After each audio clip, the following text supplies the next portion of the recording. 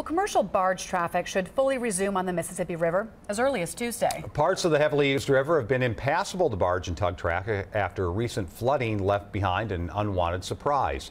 Tug captains noticed barges hitting the bottom and getting stuck in the main channels.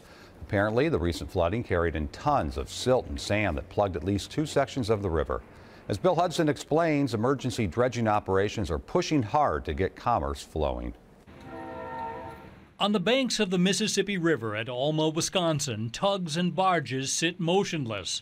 An unusual scene in what's normally a busy summer season. So, uh, yeah, the industry is starting to feel the, the impacts. The Army Corps of Engineers George Stringham says that's because some of the river's channels are too shallow, plugged with silt and sand carried downstream during recent flooding. Because towboats and barges can't get through.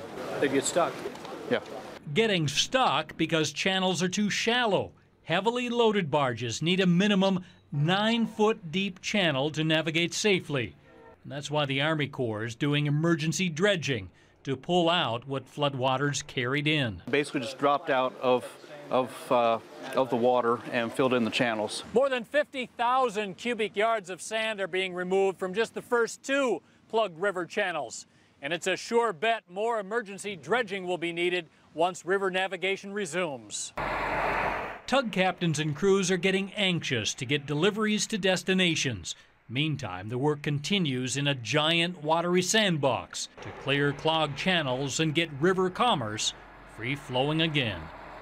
The Corps of Engineers expects the Alma section of the river will reopen Friday night. Crews are going to be working through the weekend and they expect to clear another closure near Winona sometime early next week.